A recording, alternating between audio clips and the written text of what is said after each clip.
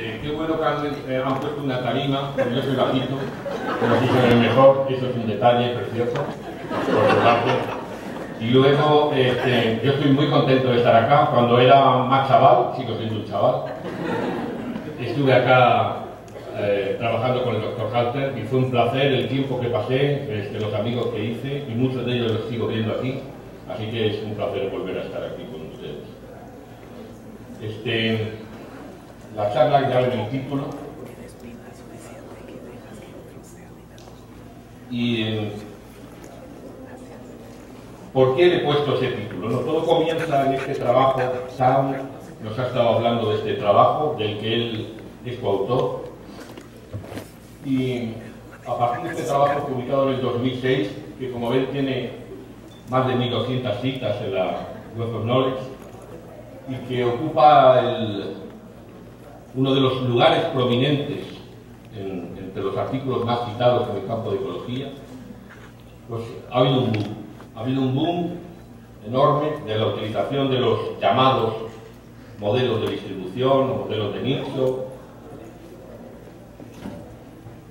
En mi opinión, y me ha gustado mucho oír a Tao, es un boom que no tiene sus raíces asentadas en, en bases conceptuales sólidas. Es verdad que ha pasado algo. ¿Qué es lo que ha pasado? Lo que ha pasado es que hemos tenido bases de datos exhaustivas que son capaces de recopilar la información de los organismos. Antes esa información estaba en artículos dispersos. Ahora tenemos la capacidad de cómputo para tener esas bases. ¿Qué ha pasado también? Bueno, pues ha pasado que no nos damos cuenta, pero cualquiera de nosotros tiene un ordenador portátil que le puede costar 600 dólares y que tiene una capacidad de cómputo que rara vez se podía conseguir en una, en una universidad. Y ahora está, esa capacidad de cómputo la puede tener uno en su casa. Y también ha pasado el advenimiento de los sistemas de información geográfica. ¿Qué pasaba antes?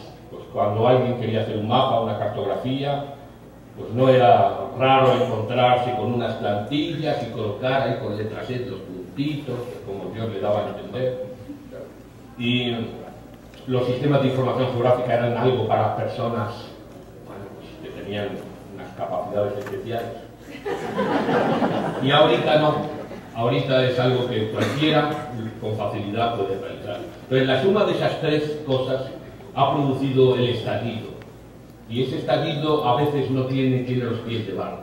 Entonces, a mí me gustaría reflexionar un poco sobre esos pies de barro y, en eso va el tema de la charla. Si se dan cuenta acá en, en este trabajo, este, he, he marcado eh, dos frases ahí. La primera dice que se usan datos de solo presencia para ajustar los modelos. Y, sin embargo, se usan datos de presencia y ausencia para evaluarlos. Y abajo hay otra frase que dice que los datos de solo presencia son efectivos para modelizar las distribuciones de las especies para muchas especies y regiones. Y que los nuevos métodos, los que son más sofisticados y producen relaciones más complejas, son los que eh, mejor establecen, eh, los que mejor resultados producen en el proceso de validación. Acá voy a intentar eh, mostrarles en qué consiste en ese proceso de validación, pero quiero que se queden con la idea de que los modelos que aquí se establecen y que la mayoría de ustedes y que están en los pósters ahí fuera, se trabajan con datos de solo presencia y no se utilizan las ausencias. Las ausencias son difíciles, evidentemente. Es difícil constatar cuando una especie no se encuentra en un lugar. Esa certificación es muy difícil. Pero aquí se está aventurando la posibilidad de que no es necesaria, porque se utilizan modelizaciones que solamente utilizan los datos de presencia y eso es razonable. Sin embargo, se tienen datos de ausencia porque cuando se evalúan las predicciones, se evalúan con datos de presencia-ausencia. ¿Esto cómo funciona? Así. Ahí. ¿Ven? Las evaluaciones se hacen con datos de presencia-ausencia. Bien. Aquí tienen ustedes un poco un, ejemplo de lo que ha pasado este, desde los años 90 aproximadamente con el número de, de trabajos publicados que tienen que ver con este tipo de modernizaciones. La curva sigue siendo exponencial, no tiene pinta de parar y aproximadamente actualmente estamos produciendo, se está produciendo un trabajo cada día científico publicado en revistas. Cada día del año se publica un nuevo trabajo científico que tiene que ver con los modelos predictivos. El cúmulo de información que se está utilizando eh, y para cualquier estudiante, para estar al día de lo que se está haciendo, es casi imposible de seguir en este momento. Y la pregunta es, ¿las bases conceptuales sobre las que se sustenta todo este enorme desarrollo ¿tienen, son sólidas o no son sólidas? Mi opinión es que no lo son. Y no lo son porque en ciencia nos distinguimos de otras ramas de conocimiento, porque tenemos que ser capaces de medir el error. Cada vez que utilizamos y damos una medida, tenemos que dar un intervalo de confianza, un más menos, que nos indique si, cuál es el nivel de error o de aproximación que tiene esa medida. Si no somos capaces de hacerlo, el conocimiento no es científico. Un conocimiento científico requiere dar una medida del error. Y esa medida del error significa realizar una evaluación de, lo que, de los datos que estamos haciendo. Tenemos que evaluar las predicciones y esas predicciones al ser evaluadas es la que nos va a dar la medida del error, el intervalo de confianza en el cual nosotros podemos tener confianza en que los resultados son razonables y reflejan la realidad. Nosotros, afortunado o desafortunadamente, solamente utilizamos datos de presencia y datos de ausencia. Aquí les pongo lo que entre los estudiantes míos llamamos los dos pechos. un pecho y otro pecho. Cuando los dos pechos se juntan, cuando las dos curvas se juntan, hay una serie de datos este, que no merecen la confianza, que uno no sabe muy bien atribuir. Esos dos pechos son el mundo de las ausencias y el mundo de las presencias. Los lugares en donde los organismos están y los lugares en donde los organismos no están. Y entre medias hay errores. ¿Cómo pueden ser esos errores? Puede haber falsas presencias, lugares que son atribuidos a la especie pero sin embargo no existen. Puede haber falsas ausencias, falsos negativos, lugares que atribuimos que la especie no se encuentra pero sí se encuentra y para poder evaluar cuál es la confianza, nosotros elaboramos una matriz de contingencia.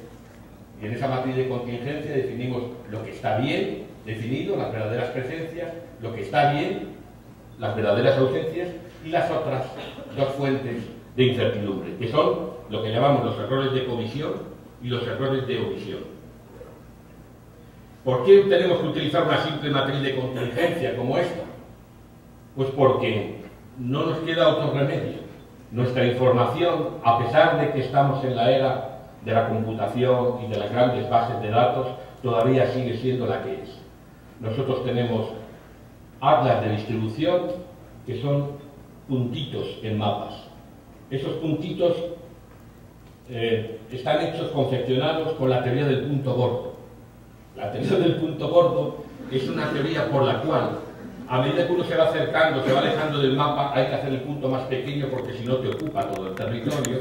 Cuando te vas acercando, tienes que hacer el punto más chico y cuando te vas alejando lo haces un poco más grande porque si no, no se ve. Cada uno de los puntos no tiene una precisión asociada.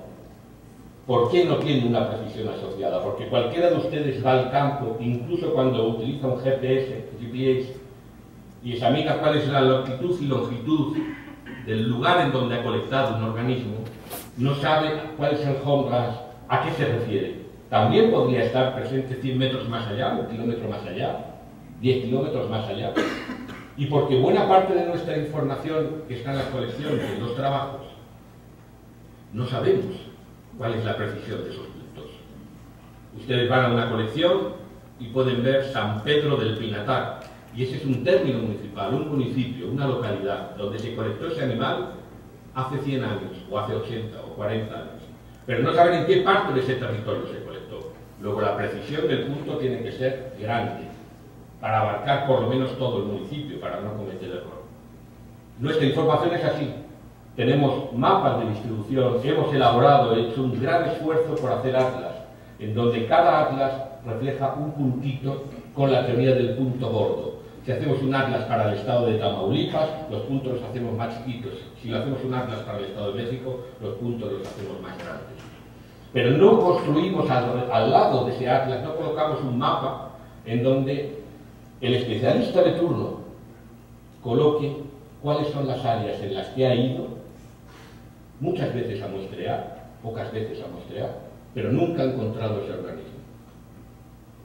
Ese mapa de incertidumbre, que podría estar y debería estar asociado a todos los mapas, a toda la cartografía de cada una de las especies, nos podría estar ayudando a definir cuáles serían los buenas ausencias, los buenos ceros, que serían aquellas localidades que han sido reiteradamente muestreadas y en, que, en ninguna ocasión se ha encontrado la especie en cuestión. Es más,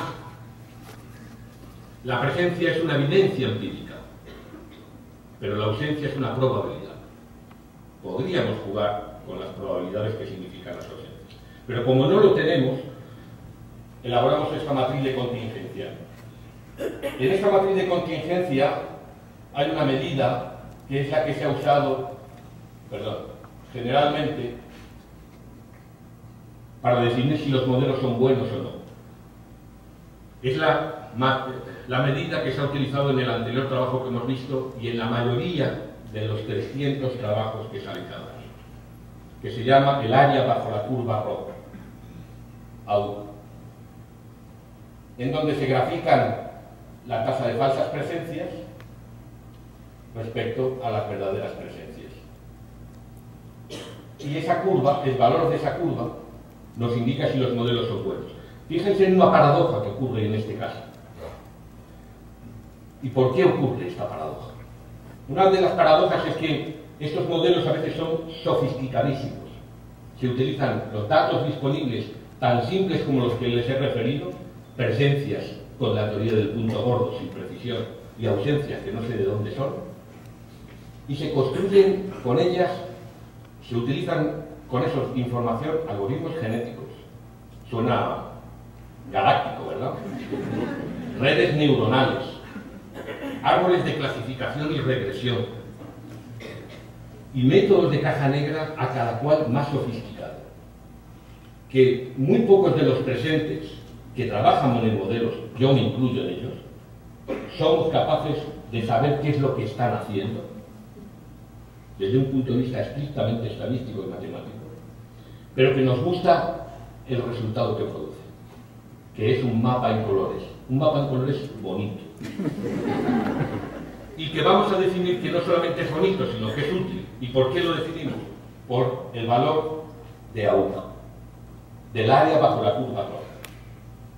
Curioso que utilicemos esas herramientas tan sofisticadas pero sin embargo, la decisión de si la medida de validación, que es el AU, refleja que el modelo predice bien o predice mal, está basada en unos intervalos sui que a un señor le dio por decir en el año 88, que si pasa de 0,7 a 0,9, bueno, si pasa de 0,9, muy bueno, si pasa de, está por debajo de 0,7, mmm, y si es 0,5 es al azar. Bien, no sé si esto es una tónica general, a mí me da la impresión de que en ocasiones sí. Tenemos un gusto exacerbado, los científicos, por la sofisticación. Y en ocasiones esa sofisticación está sustentada sobre raíces que se mueven. Ahora les enseñar un artículo en el que yo soy el jefe, que no tiene tantas citas como la que hemos visto anteriormente, pero que es mi artículo más citado. ¿Vale? En el año 2008. ¿Y por qué es el artículo más citado? Por el efecto Baxi. Todo el mundo dice, el AU no se puede usar como medida de validación o tiene sus inconvenientes, Baxi, Lobo y tal, pero yo lo voy a usar. Pues, me citan mucho, por el... pero nadie me hace caso. Quiero que vean aquí dos frases que he subrayado. Eh, se trata básicamente, y es una tontería, yo creo que lo podemos entender hasta los científicos, lo que decimos acá en este artículo es que eh, el uso de la luz como medida de fiabilidad o de la, del ajuste o de la bondad del modelo este, eh, no, no, es fiable. Uno no se puede fiar de esa medida. ¿Por qué motivo? Por, el propio, por el hecho de que no tenemos datos de ausencia. Como no tenemos datos de ausencia, uno de los coeficientes que hay que mirar ahí, que es la, cuánto hemos acertado en la predicción de las ausencias, no se puede calcular con fiabilidad. Es más, si yo hago un modelo en un área muy chiquita, la cantidad de ausencias que tengo cerca del mundo de las presencias es, es grande. Si yo hago el mismo modelo, pero en un área enorme, la cantidad de ausencias que tengo alejadas del mundo de las presencias es enorme. Es fácil predecir que no hay elefantes en la Antártida. Y eso no significa que mi modelo sea excelente. ¿Me explico? De algún modo lo que demostramos en este artículo es que la extensión a la cual se realizan los modelos influencia los valores de. Y uno, si quiere obtener valores de, de este sistema de evaluación altos, lo único que tiene que hacer es ampliar el modelo yo amplío el modelo y sé que voy a predecir bien la ausencia de, elefantes en la Antártida, pero eso no tiene ningún mérito. Eso ya lo hacía el tipo antes sin necesidad de hacer un modelo.